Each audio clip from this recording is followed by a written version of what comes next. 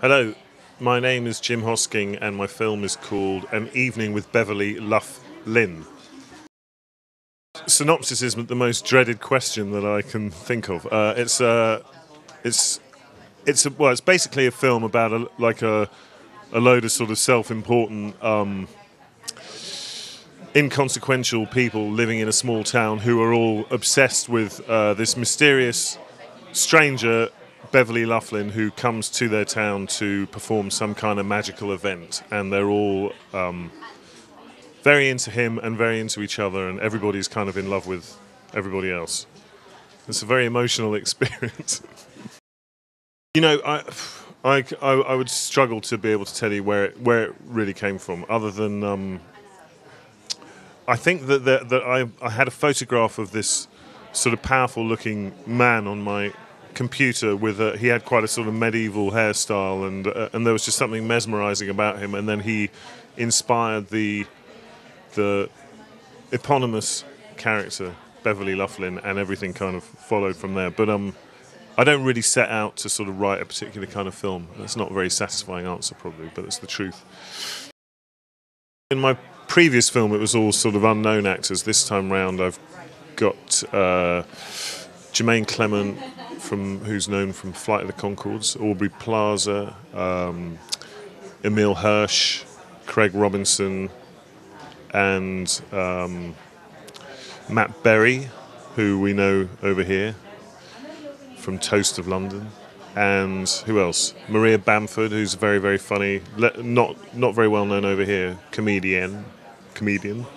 Um, anyway, and then a load of sort of peculiar uh, peripheral stragglers who I've kind of assembled over over the years, who I bring with me wherever. I would say that for the most part we stick to the script, but I'm not. I'm not sort of.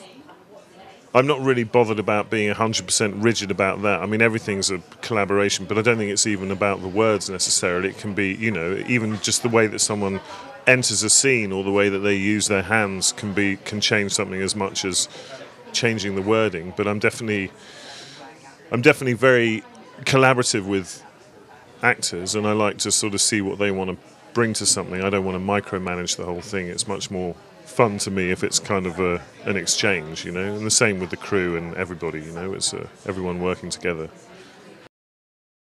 You know what was really satisfying to me when I was making the film was that, say, Aubrey Plaza, who I think is generally known for comedic performances, and she really came to this film playing it very much from the heart and playing it very straight and playing it sort of very dramatically, really. And that was, I found her performance very moving and very inspiring when we were working together. And then Jemaine Clement, for example, was just, I mean, I think I, I like to sort of push Jemaine and take him to some places that maybe he felt a little less comfortable, but he's just so so funny, and uh, it's just it was it was really enjoyable to see these different actors playing with each other when um, their approaches can be sort of very different, and it just creates this kind of sort of magical cocktail. I think. I would say it's um, it's it's sort of absurd in a way and funny, but then it's also it's genuinely sincere and quite romantic and, and sweet. And uh, I think I'm trying to. Well, I'm not trying to, but I'm sort of com- combining the kind of tones that I that I find interesting in film, but maybe in a surprising way, so that I can make something that feels like it's heartfelt while also being, you know, strange and and um, I want to take people somewhere different, really. So I, I think by combining kind of a strangeness and a, and a, and a sincerity. That's like a it's a new sensation of sorts.